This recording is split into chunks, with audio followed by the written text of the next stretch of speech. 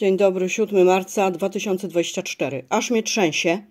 Po prostu to, co wczoraj widzieliście. Kurator zawodowy Paweł Woźny. Ten człowiek nie jest w ogóle wpisany na listę kuratorów e, zawodowych. Po drugie, e, nie ma takiej ustawy, żeby prześladować wolnego człowieka. Po trzecie, nie ma e, żadnych kuratorów zawodowych e, dla ludzi dorosłych. E, Fałszowanie, zakłamywanie prawdy, dyskryminacja, prześladowanie kobiety polskiej.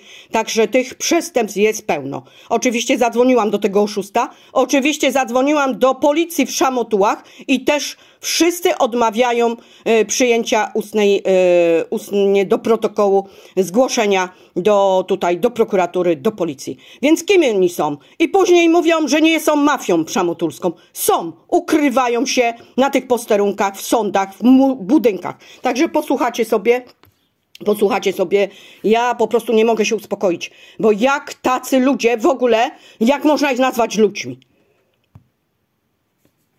że w trosce o bezpieczeństwo świadczonych usług rozmowa jest Jeśli nie wyrażacie Państwo zgody na jej nagrywanie, prosimy o przerwanie połączenia i inną formę kontaktu.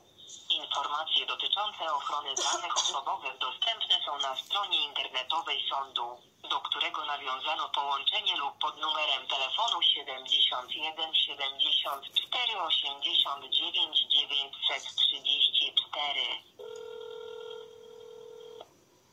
Profesor Paweł Woźny. Słucham?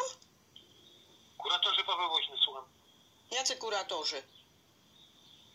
Ale z kim rozmawiam, proszę panią? Z narodem polskim. Co pan wczoraj robił u mnie na podwórku?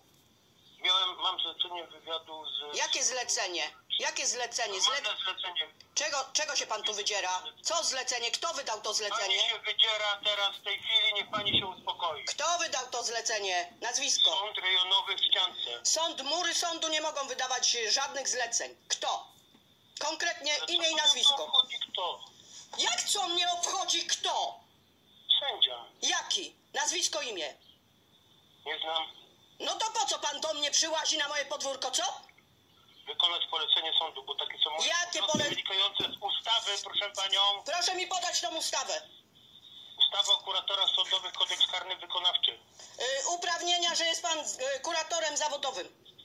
Na Jest jakiej, normalna? na jakiej liście, na jakiej liście jest pan kuratorem zawodowym? Do widzenia. Co do widzenia? Bo rozmowa była nagrywana. Ty oszuście cholerny.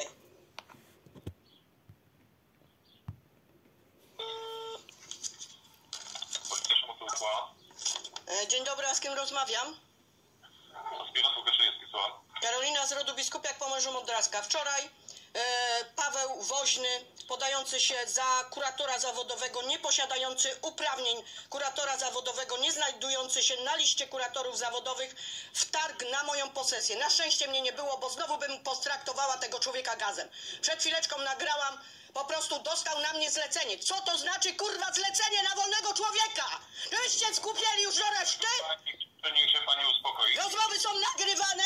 Proszę sporządzić notatkę do protokołu. Proszę mi nie przerywać. Mówi polska kobieta. Proszę mi nie przerywać. Wszystkie rozmowy, Ma się uspokoić i nie przeklinać, tak? wszystkie rozmowy są nagrywane. Proszę wziąć długopis. Proszę wziąć długopis. Proszę spisywać notatkę do prokuratury.